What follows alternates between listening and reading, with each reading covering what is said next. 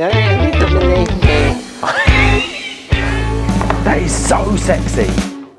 Sexy. Hello, ladies and gentlemen, how are you? We're going to be doing one of my absolute favourites. we are going to be making a pilaf. Um, oh, that's nice, isn't it?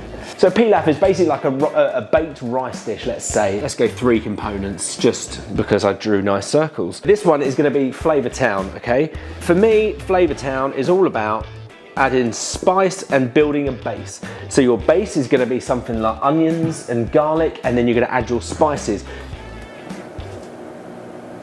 This bit here is gonna be the rice. Now you can add whatever rice you want. Maybe you wanna use a bulgur or something like that. Something that can absorb lube and bake in the oven, wonderful. Over here is like your sexy additions. Let's, let's write that, I like that. Sexy, oh, additions. Sexy additions could be anything from I'm gonna use some chicken thigh because I think it's sexy. You could also add some dried fruit because that's delicious. You could add some lamb, absolutely anything you want. So we're gonna get a little bit fruity later on because we're gonna use some of these, which we're gonna talk about using things that aren't necessarily used because people think they're weird, but they're not actually that weird, so we can carry on using them.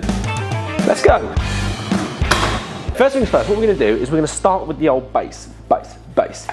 Ah, oh, I bought these onions. I did a video earlier the central core, of, look at that, the cutting skills of an apps, that's not even a two-year-old. Dice this up, nice and rough, put this into a pan, and we're gonna slowly start building flavors as our life comes together. Stick a bit of lube in there, and just gently sweat that off. So I've got these beautiful chicken thighs here. I got them from a local butcher. Let's take them out of here. Pretend they came from a butcher.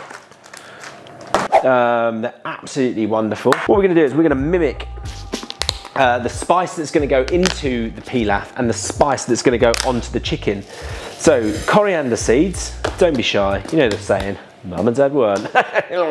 then cumin seeds, two classics in sort of like Middle Eastern cuisinage. Put this on and just gently toast.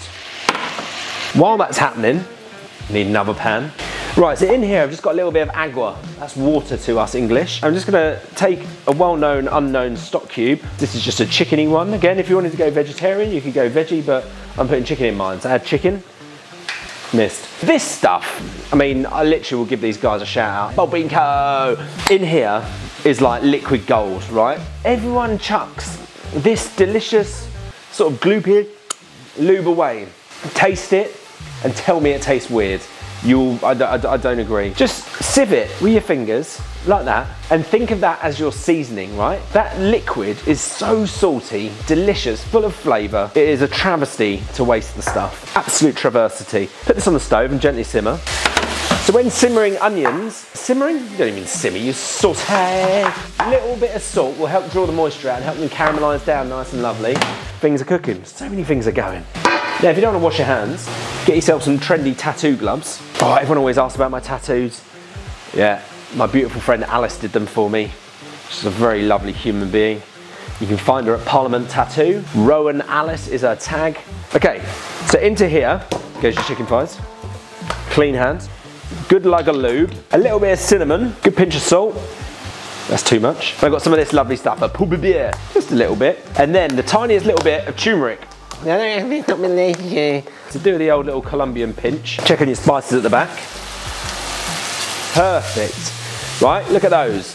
They should be smoking a little bit and just getting toasted. Get this little sister sledge in here. Get a couple of black peppercorns in there and give this a good see into. Oh, I should have used the bigger one. Should have used, used the big one. Oh, fucking hell. Rule number one, never fill up your pestle and mortar too high. Doesn't matter if it's a bit coarse. Just a little bit on the old chicken. Oh God, made a right mess. Look at this. Onions are just starting to soften down. Oh, you see that? Camera number two. Good pinch of this stuff.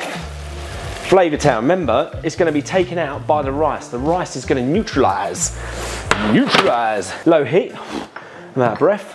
What I got here is some basmati rice. Ooh. I like basmati rice because it kind of stays together.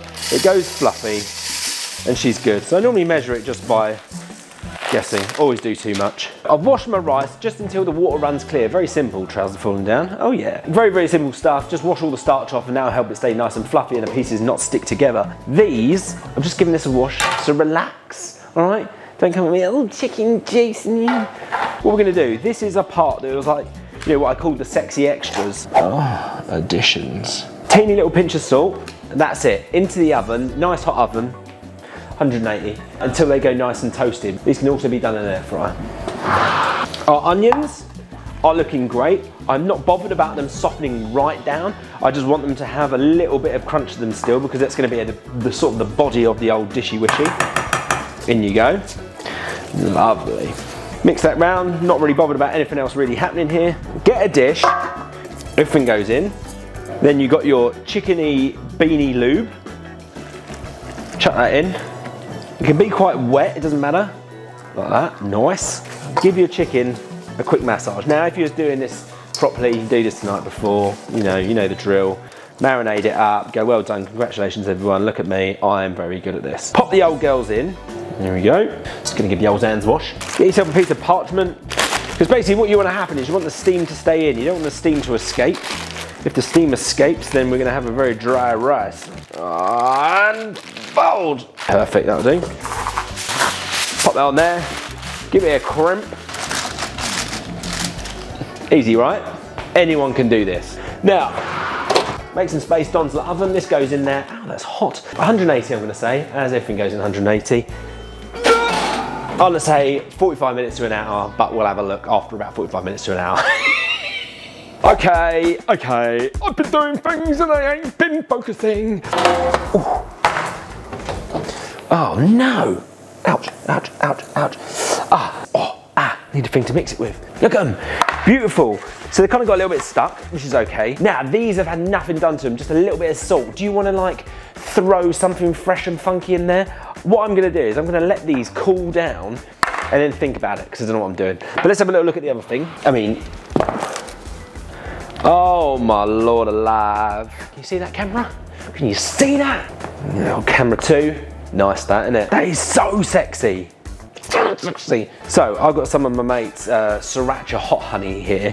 This was not intended. I'm just gonna do it because I'm feeling fruity as fire. Slap a load of that over the top and then pop this back in the oven so that that skin starts to crisp and all of these edges start to crisp as well. Because what you have is a little bit of a burnt bit on the bottom, crispy stuff on top. You take that out, fluffy, fluffy.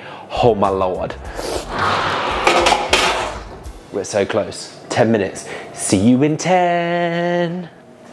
While um, the old Frederico is having fun in the oven, had this idea. You have something that's quite aromatic and sweet, spicy, quite full of flavour. But then whenever you have, say, like a kebab, or you have um, uh, something like a kebab. It normally has like something that will cut through, something that's got a bit of crunch, something that's maybe got a little bit of freshness to it that will kind of like elevate things, right? Think of like raw onion. Mm, mm, mm. Right, this is the bit where it gets a little bit tricky because I only want the tiniest amount. So let's just split him in half. So what I'm thinking for the top of the, the dish is I've got these butter beans and then I'm gonna have my, some onion how do I want to do it? This is all new to me. I'm just getting excited and being playful. It's like, um, have you ever had a cucumber salad? This is me just taking influence from everywhere. So I'm just going to run down, stick it in a little bit of um, water. So this is sort of going places now. Now I've got a little bit of lemon. This is all about adding a little bit of freshness to a dish that would necessarily just be a little bit like I've got some coriander and I've got some parsley. So this is the thing with cooking that I love talking about. Cucumber salad in my head is like an Indian thing. It has a bit of tomato, a bit of cucumber, a bit of red onion. But then if you start thinking about that and going like, oh, maybe I could incorporate the idea of that into a dish that I'm making, why not? Why not? So tomato, simply for things like this, I like to take the seeds out. So just go like that and just eat that bit.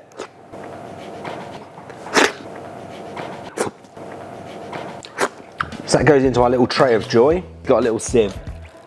See that camera number two? Jeff, pick that up. That is like really punchy onion lube removed from onion and you'll get a nice little fresh little kicker. A bit of olive oil and just a teeny little splash of vinegar.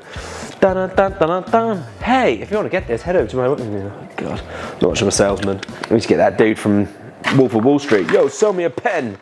I'll sell you a bottle of vinegar. Mate, look at that. What an absolute cracker. It is amazing. Never done that before in my life. It's what cooking should be like. Oh, I need camera 10 to pick this up. Or should we zoom in? Doing a zoom in for you. Oh. Oh, she looks she looks nice. The best thing about this is like everything's just cooked in one thing. And if you really hate the old boner in the chicken, it's very simple. All you do, fuck. oh, asbestos fingers. just grab the bone, get your fork next to it, and it will just pull off. Could have done that a bit more gracefully. Who gives a fuck? I don't care about bones. Then this rice under here, oh, what's happened? You know, it's taken all of the juice that you've cooked, it's be so steamy.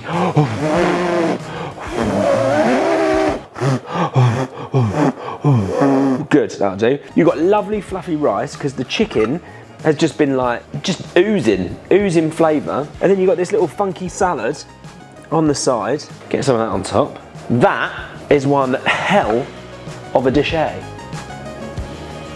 Francis, can you put some sexy music over this while I just do some B-roll? Oh yeah. Sexy oh, additions. Delicious chicken. Ah. Mmm. You've got this, like, oh, it's so hard to explain. And in the nicest way possible, this beautiful, greasy, silky, fluffy rice. Oh, it's so good. It's made my eyes water so, it's so hot. And then this mad little side salad. If I could rate this out of 10, it would be 12 out of 10. Even 13. That little beanie salad, magic. That's glorious. Don't forget to like, subscribe, follow. This is great. Mm. Right, peace out, love you.